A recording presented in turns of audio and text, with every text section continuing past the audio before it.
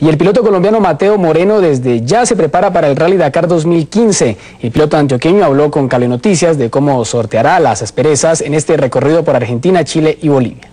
Eso es una preparación bastante ardua, tanto físicamente como una preparación mental. Estudiamos mucho los mapas para, para aprendernos lo, lo que es la ruta. Y tenemos una preparación bastante importante en la etapa de la preparación, que es la parte de alimentación y unas dietas especiales que la empresa Sodexo nos ayuda mucho con eso, con qué es lo que debemos comer y qué no debemos comer.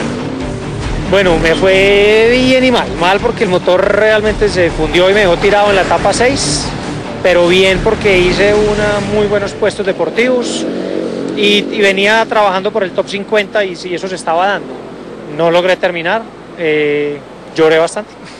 Este vamos a, yo creo que la misma, la, meta es la meta, es llegar, terminar. Te quiero llegar vivo. eh, yo creo que top 50 era pedir demasiado. Dejémoslo que top 60 está muy bien. Eh, la idea es llegar y tener todavía ánimos para representar a Colombia y levantar la bandera en la meta. Bueno, en enero no hay ni fútbol ni Fórmula 1, o sea que les tocó ver Dakar. eh, por favor, tengan un poco de paciencia con nosotros los representantes. Esta vez somos menos, somos tres.